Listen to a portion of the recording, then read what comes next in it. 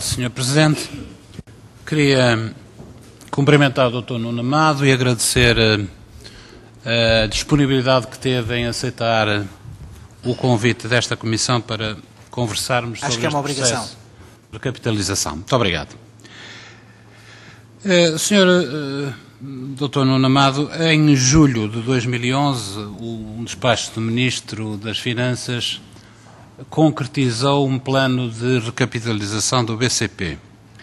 Na altura previa-se 3 mil milhões de euros em instrumentos de capital e até eh, 500 milhões de euros em tomada firme de, eh, no, no- no processo de aumento de capital, que, pela informação que confirma aqui, não foi necessária porque foi tomada inteiramente pelas entidades privadas. Suponho que é assim que devo concluir, mas confirmará depois.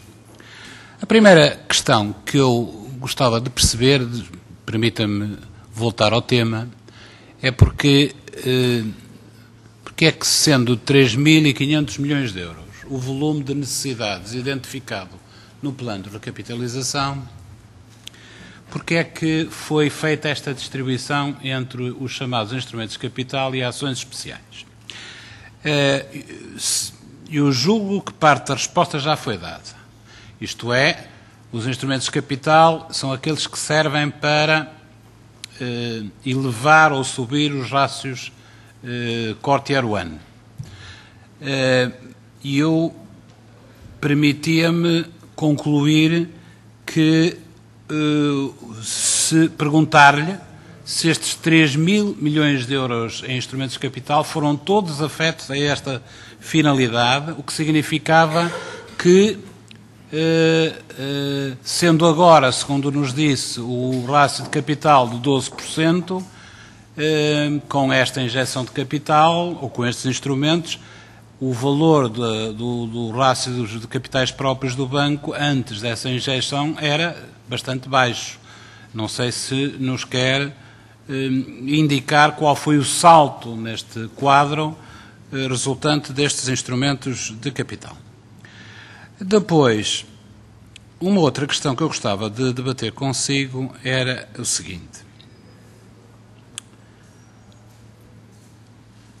O senhor fez uma explanação bastante transparente no início relativamente àquilo, um conjunto de causas, enumerou seis ou sete causas que determinaram a existência de debilidades e de imparidades em diversas áreas de negócio do banco. Não vou repetir, porque nem sequer fui suficientemente lesto para eh, registá-las todas. Mas eh, eu julgo que, naturalmente, imputou para cada uma delas uma justificação eh, e, naturalmente, perante a dimensão das debilidades, 3.000 ou 3.500 milhões de euros, o recurso, à, o recurso à recapitalização pública foi a solução. Eu pergunto-me se considera aceitável que eu conclua que perante um conjunto de debilidades tão diversificadas em tão diferentes áreas de gestão do negócio bancário, a situação que verificou em julho de 2012 era ou foi o resultado também de uma gestão pouco prudente nos anos precedentes, digamos assim, uma gestão voluntariosa que entrou ev- eventualmente em negócios de alavancagem não suficientemente acautelados.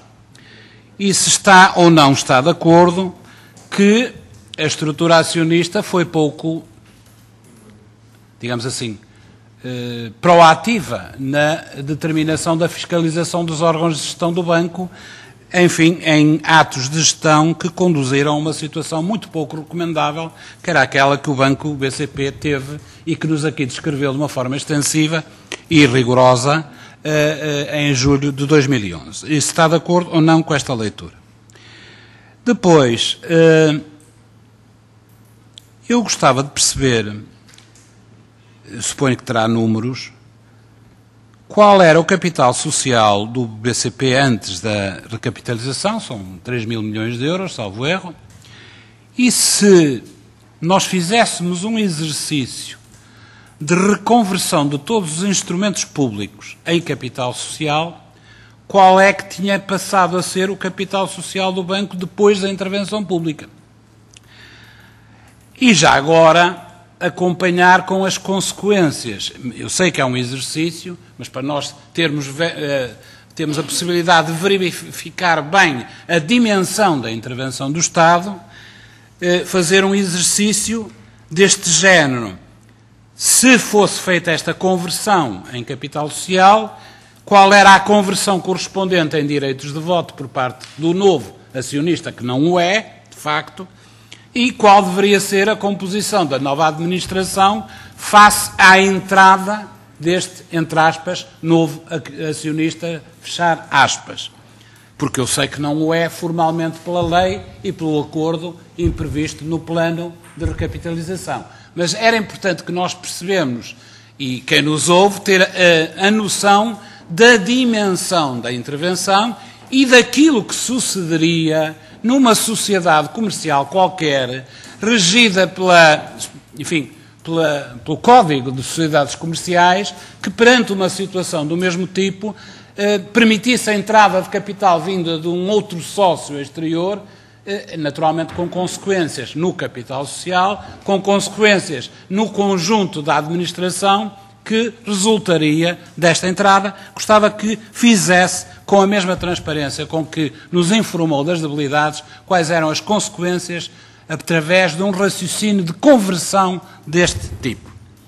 Depois, uma outra questão, Sr. Nuno Amaro, tem a ver com as condições inerentes ao plano de recapitalização. Eu, eu tive que me ausentar e peço desculpa se perdi parte de uma de uma resposta que já deu, tem a ver com as rescisões de recursos humanos. Disse, salvo erro, que em 2012 houve um, uma saída de pessoal de 970 pessoas, eh, das quais 620 em forma de rescisão amigável. Eu queria perceber eh, qual é a dimensão prevista pela administração do BCP ao longo de todo o plano de reestruturação ou de recapitalização, isto é, até 2017, qual é a, o objetivo de diminuição de recursos humanos, eu vou-lhe chamar de uma maneira mais simples, rescisões amigáveis barra despedimentos, que eh, está associado ao plano de recapitalização e ao plano de reestruturação que o acompanha. A mesma pergunta gostaria de fazer relativamente a uma ou outra dado, que era a da diminuição, se quiser utilizar uma outra expressão, encerramento de balcões em todo o país inerente a este plano.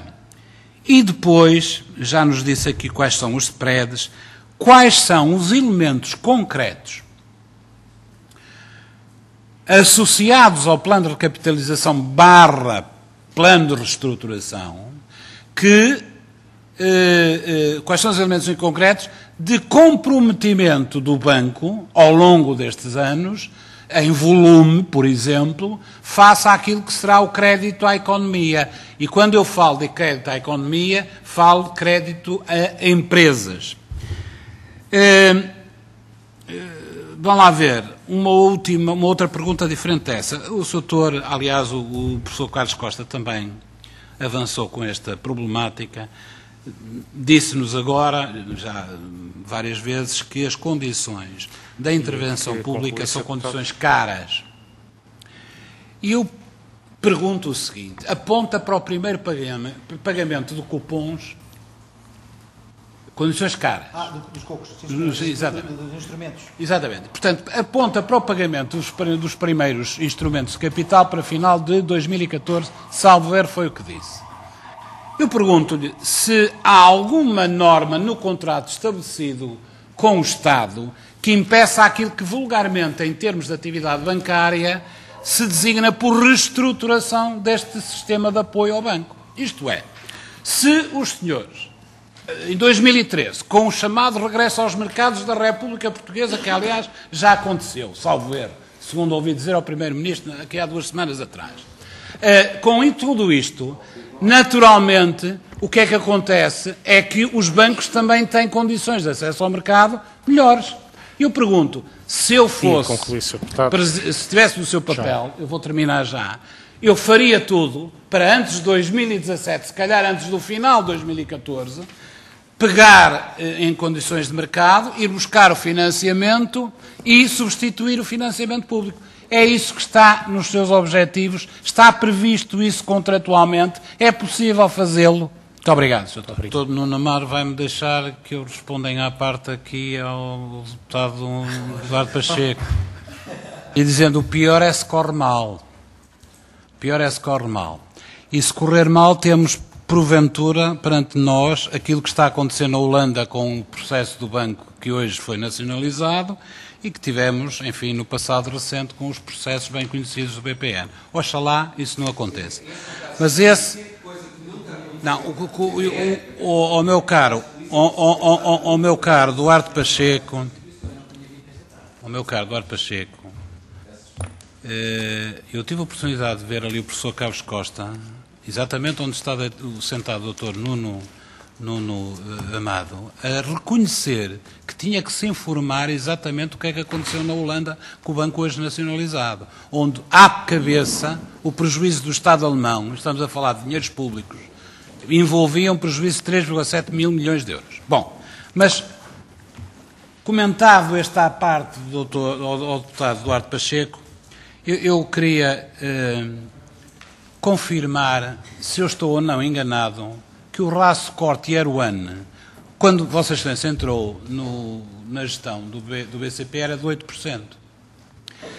Eu julgo que era, e eu acho absolutamente transparente que o administrador CEO da- do, do- do- do- banco do, do BCP hoje nos venha aqui dizer quando entrou o funcionamento do BCP não era conforme com as, eh, os regulamentos. eh, Não, não era. Se se o raço de capitais próprios era de 6,7 ou 6,8, conforme disse o Dr. Nuno Amado aqui, era inferior a 8%. E, portanto, tinha que ter havido, da parte, e certamente houve, da parte do Banco de Portugal, uma intervenção. Eu também eh, reconheço e sublinho eh, a frontalidade com que o Dr. Nuno Amado aqui afrontou e reconheceu que há que fazer críticas à gestão, à forma de gerir a atividade bancária no passado. Quando diz que, eh, de facto, a gestão de risco tem que ser mais cuidadosa, que os níveis de alavancagem têm que ser menores, eu concluo que, de facto, o aventureirismo que havia na gestão bancária tem que ser eliminado. E muito desse aventureirismo está na causa primária daquilo que é as necessidades de capitalização, muitas das necessidades de capitalização agora. Naturalmente, eu também sublinho a forma clara como reconheceu que se houvesse uma conversão em capital social da intervenção pública que ocorreu, a maioria do capital social do BCP era do Estado. E que, naturalmente, à base do Código de Sociedades Comerciais, seria transformada em direitos de voto e em direitos de participação na administração consentânea com essa, eh, eh, com essa posição acionista. Só gostava de lhe solicitar dois comentários complementares. O primeiro é, se nos pretende, ou quer comentar, ou quer, enfim, explicitar o pensamento do seu vice-presidente, Miguel Maia, salvo erro é assim que se chama, quando ele diz que as condições de intervenção pública no BCP, eu não sei se ele dizia no BCP, se dizia em termos genéricos, falta-me contexto, provocam a restrição do crédito às empresas e à economia. É porque eh, a ideia que colhemos do Sr. Vice-Governador é que, bom, eh, há aqui um sistema de bases comunicantes, enfim, a resposta não foi conclusiva. Eu gostava que, com- que comentasse essa afirmação. E, finalmente, esclarecer se os números que nos deu há pouco de rescisões de pessoal, 1000, 2012, 2013, eh, encerramento de Não disse rescisões, peço desculpa, disse diminuição. diminuição, 1000. Parte é natural, parte é. Eh, eh, encerramentos 41 mais 50, 2012, 2013, se, são, é, se corresponde à totalidade daquilo que o programa ou o plano de reestruturação prevê até 2017. Eh, porque eh, era importante que nós percebêssemos se, digamos assim, a diminuição do recurso humano se vai ficar por estes mil ou se vai prosseguir nos anos sucessivos. Hum, e era tudo, senhor. Doutor Nuno Amália, agradeço as informações que prestou. Obrigado.